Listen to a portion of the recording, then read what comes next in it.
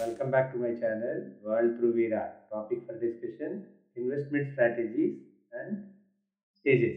One should follow any stage as per age and investment required, purpose and time for that investment we can give.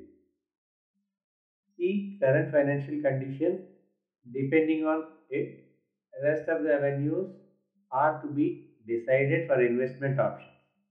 If you have some income generating assets holding by you and your parents or life partner, see how one can reinvest income receiving from those assets. See income tax bracket currently you are into and when this investment matures and comes into hand, interest accumulated for the year will be treated as an income for that financial year or when received on maturity will be treated as a one-time revenue. Then what taxes need to be paid and during that time what will be your income tax brackets. Best and smart way to deal with the this kind of situations is when your income tax brackets are very high, go ahead and do the investments and tax deferred investments like mutual funds, equities, various other options available in the tax deferred brackets like NPS. While selecting investments options, see duration of investment for number of years. One can invest like monthly, yearly or should be for long term goals with growth option. Ensure these investments done in tax deferred options available basis on risk appetite and duration of investment. For retirement, tax free options like PF, PPF, tax deferred options of NPS, small extent in bonds that that to be in tax free bonds where interest received from bonds is tax free. Normally, those investments you should have increased contributions from 42 until retirement.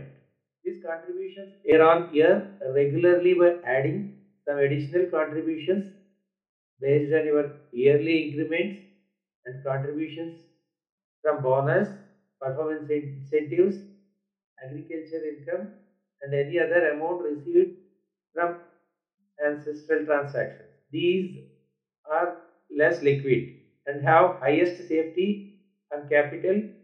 It will have slow appreciation, but compounding will help in long run. These type of investments are accumulators and tax free or tax deferred, best for reinvestment purposes.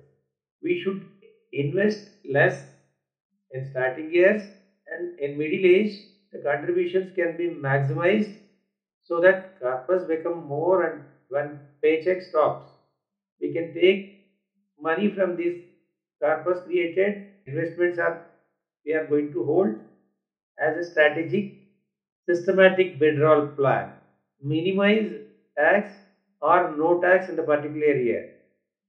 How we can avoid income tax during the time? See what will be your requirement and what is the particular income you are going to get in that particular financial year. First try to consume where the money is taxable to you.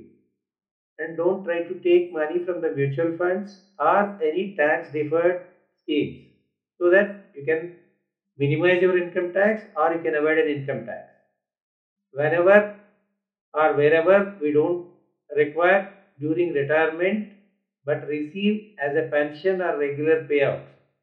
This money we can reinvest like insurance companies gives annuity. Those we can continue to reinvest that amount using systematic transfer plan. STP will help transfer money from one asset to another instead of lump sum systematically to reduce risk and help to deal with market volatility we can transfer this money systematically into tax deferred schemes like mutual funds or any other investments. Thank you. Have a nice day. Signing off. MBBS Reddy World through Veera.